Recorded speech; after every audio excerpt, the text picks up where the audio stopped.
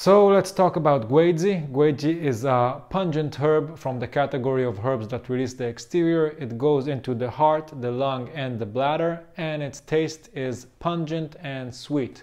And it is the cinnamon twig, not the cinnamon bark.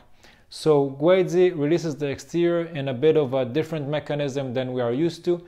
It releases the muscle level. So it doesn't release the skin level like Mahuang. It releases a bit of a deeper level, which is the muscle level.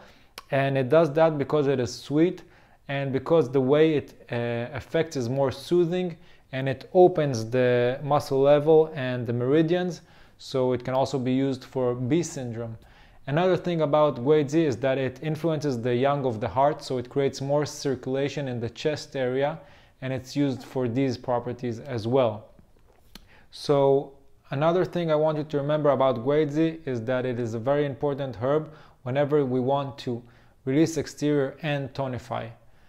So I'll just make a short summary. It enters the heart, which resembles to the whole idea of moving and circulating qi in the heart and yang.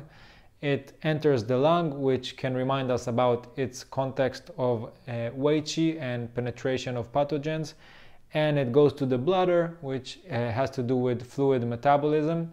And if you want to read a bit more about fluid metabolism think of uh, Wuling San as a formula to read about. If you want to read a bit about more a bit more about the releasing exterior and tonifying uh, you should read about Guizhi Tang. And those are the things about that.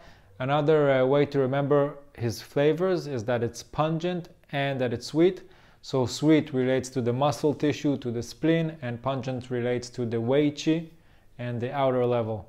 So those were a few words about Guizhi. I hope you enjoyed it. You're more than welcome to subscribe and follow up uh, whenever there's a release of a new video about a new herb and I will see you next time.